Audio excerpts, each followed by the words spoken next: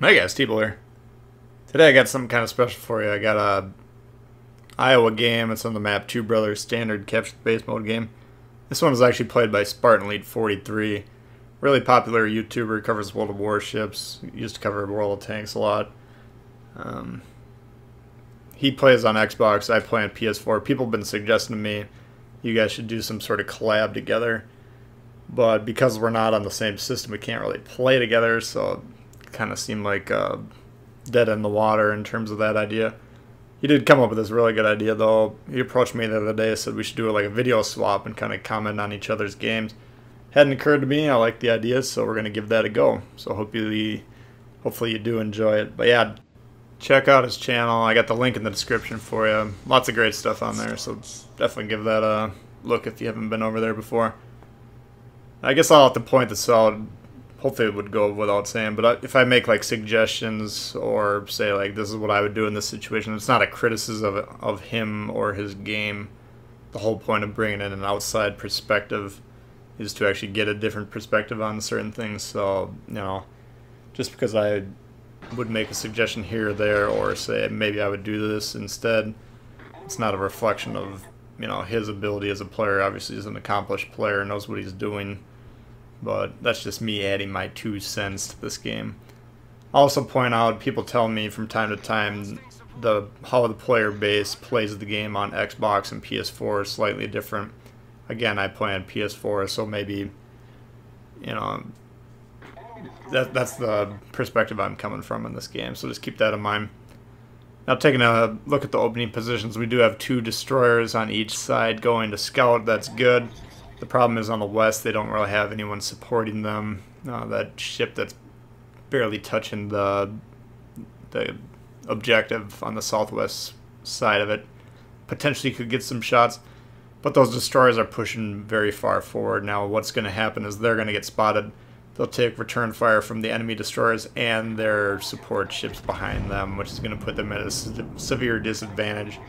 So scouting is definitely good for destroyers um, in general and on this map for sure. The key to it early on though is you don't want to be too aggressive and push too far forward. That's going to compromise your position. Likewise on this side we do have a Spartan in a division with another battleship. They're pinning down this corner. They do have a friendly division uh, destroyer scouting for them and another destroyer as well. So pinning down this side here works if two things take place. One, the enemy has to push forward as they're doing to the east and he needs ships that are providing vision for you, which he does have that. So in this case, this works. Now I don't. The problem I have with this map is it promotes really campy play, which isn't inherently bad, but the problem is if nobody's scouting for you or both sides are tucked behind these huge mass islands, then basically they're taking themselves out of the game by not allowing them to themselves to be in positions to fire. One of the key points of this game is to always put yourself in a position where you're able to deal damage as much as you can while maintaining your safety. So, because again, because he has people scouting for him here, this position is actually quite strong. But you know, you just have to have, have the flexibility in your mind. I know there's players out there that they'll go to the same spot every game, no matter what, and if if it works or if it doesn't work in that particular game, by God they're playing that spot. You know, that's not effective play. So I have the flexibility to react to the situation and do just fine. Now evaluating the map again, you'll see those destroyers in the west are beginning to fold. We have one eliminated and the other one is being pressured severely. That's going to be a problem. And then we also do have two friendly ships moving up the canal. I don't find that to be a profitable play early on either. What they're essentially doing is removing their guns from the game for a few minutes it's going to take two, three, four minutes to sail up there, whatever it is. And what are they going to do when they get there? Get shot at from multiple angles? Okay, well, cool. Is that going to help you win? Probably not. And again, keeping an eye on the map, we have lost the western flank, so the ship that was supposedly supporting them is now moving back behind those islands more in the spawn, so that side is completely open. It's imperative that we keep an eye on that flank for the rest of the game and be able to react because those ships that are over there can either do two things. They can go back to support the base, which is what I would usually recommend doing once you've won your side, or they could push forward, which is what players usually do, and try and capture the base. So it looks like those players are noticing because of the ships in the canal launched a plane now. That's a telltale sign that someone's attempting to get up there, so they are turning around. And, you know, that should put the end of that push, you know, pretty quickly. But getting back to our side over here, Spartan and his teammates able to eliminate that KGV. And now we have the Iowa pushing forward. Now these guys on this side are playing effectively. What they're doing is creating crossfires. They have ships directly to the south of these two battleships, and then Spartan over here is at a different angle. He's actually able to access the ship's broadsides by being over here. So creating crossfires is a key component of the game, something you need to always be on the lookout for. Like this Iowa's taking shots with these torps. He has to angle against those torps. He can't turn broadside to them because obviously the torps will kill him. But because he has to angle towards these torps now, Spartan can just get free shots at these broadsides. In this Iowa, which was looked like it was about 80-90% health, roughly a minute ago, is absolutely, you know, evaporated, and he gone. So great work there. This the team on this side is actually playing really well, and of course they're in a division, so that helps out quite a bit. Um, being able to a communicate with your team more effectively, and potentially if he plays with these particular players with any regularity that you start to get some familiarity with uh, their tendencies and playstyles. Now we see the two ships in the center have turned around. Their uh, attempt to poke through obviously was rebuffed and, you know, now they're running away. So what are the, you know, we got we're about seven minutes into the game. So for seven minutes, they weren't able to shoot at anyone. They probably took some damage by going over there, and now they're going back to where they spawned. And so for roughly half the game, those players would have actually done better had they just not picked up their controllers. You know, so that's the center canal. You can potentially bring it into play the later into the game you get, but early on, I don't find it to be a very good play in about 98% of the cases, and the only time it's going to be effective is if both flanks on the enemy side they're really pushing forward aggressively, which you'd probably be better off kind of playing those flanks and pushing back against them. So, in general, I would just avoid sailing up there that early in the game. And of course, most of those ships that were over there are now identified on the map. We still do have that one battleship that's grayed out over there. So what these guys need to be doing while they're looking at the map in between shots is accounting for that player. Looks like we do have a plane sighted over there, potentially, which is kind of a telltale sign that that battleship's moving south. So we do need to keep an eye on the base, and we don't want to outrange ourselves from the base so that they can get on it and capture before we can effectively turn around. Now Spartans kind of push forward. We got this Iowa that's isolated over here. Iowa's angled pretty effectively against his ships. Would you want to switch to HE? No, not likely. As you can see, some of these shots, you're still able to land 5, 6, 8, 10k, whatever it is, just by shooting superstructures, shooting through the deck, whatever.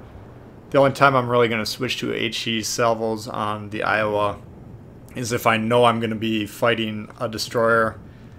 Usually when the destroyer is the last ship on the enemy team or if I'm in a really long, protracted battle with a very skilled battleship commander who's demonstrating to me that he's very good at angling his armor, and it's going to be kind of a dug-in trench fight, and that's and you're not and you know for a fact that you're not going to be shooting at anyone else. In that situation, you can, might consider switching to HE, but in that in the current situation in the game, those factors weren't present, so sticking with AP was the good choice there. Now, this Kagero is pushing back against these ships in the canal and actually eliminating them, so it's kind of the coup de grace for a really ill-advised play. But now that creates a bigger problem because we do have that battleship. It looks like it was briefly sighted in the base. It's now capturing the base the Kageros in the channel, they're going to put additional pressure. So we're going to have at least two ships capturing Spartan recognizes this, turns around.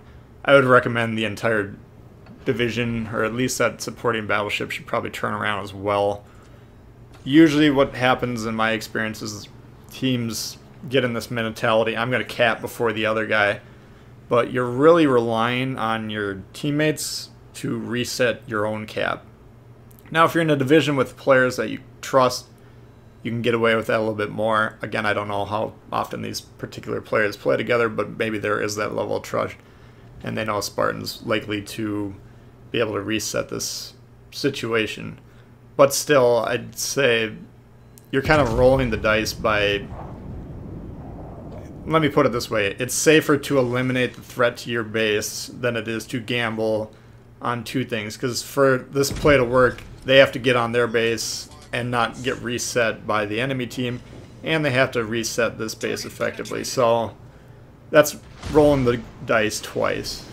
Now there, the Iowa fires HE, puts two fires on him, but which he immediately damage cons. That's perfectly good. Now, interesting, I noticed here uh, Spartan did not have this Iowa selected, and there was no circle around his icon there. And he blasts him with two citadels. No offense, buddy, but that was like the luckiest shot known to man. You'll see in the next salvo when he's still not uh, selected what your normal dispersion is. And he knows this. This was just a mistake. It happens from time to time you accidentally don't have the ship selected. But if you guys aren't familiar with it, your gunners get massively more effective when they're at when the ship is selected. So you know, usually when you accidentally shoot a ship that isn't selected, you'll get dispersion like that. and uh, so once that salvo's launched and he's like, how the hell did that happen? Oh, I didn't have him selected. Now he's selected it again. But getting those two citadels, I mean, he would have hit those two citadels anyway had the ship been selected, but I just thought it was really funny that that was a hell of a dice roll. So always, always, always shoot at ships that are selected there. But getting back to the situation, so now what we need to be aware of is when you're resetting bases, each ship has like a baggie or a packet or whatever you want to visualize it as of capture points. So we know that Kagero's accruing capture points and this Iowa's accruing capture points. Every time he shoots this Iowa and resets him, the Iowa loses that capture, his baggie of capture points, but the Kagero does not. The Kagero continues to accrue those points. So that's why you kind of want some more support here because he can keep resetting this Iowa all day, but you'll notice every time he shoots him, it's taking less and less of that counter down on the base icon. And at this point, Spartan's actually reacting to that. He's attempting to push into this base to cause it to manually stop accruing, make it contested. But this other Iowa, I assume he's piloted by a Dewey. He's got a ram build. He rams them. Uh, you can actually see the telltale, like, bushy little mustache sticking outside of the commander's hatch there. So always look out for that infamous Dewey ram build. Uh, the Akatsuki here needed to push forward just a little bit sooner and get some resets. These counters are both extremely close to each other. Um, sitting in the cloud like that is doing nothing. So getting the pressure on them. all you have to do, even if you die, it doesn't matter. Just all you have to do is hit the ship once. But luckily for them, they did uh, win by the skin of their teeth there. So very good game in terms of damage output. Well played in terms of the division and uh, map awareness and stuff like that. So good game from Spartan. I appreciate you sending me that. I hope everyone did enjoy it. If you did, please hit the thumbs up. If you're new to the channel, consider subscribing. Lots of World of Warships coming all the time. Questions for me, comments, leave them below. I'd love to hear from you guys, and we'll see y'all later. All right, peace.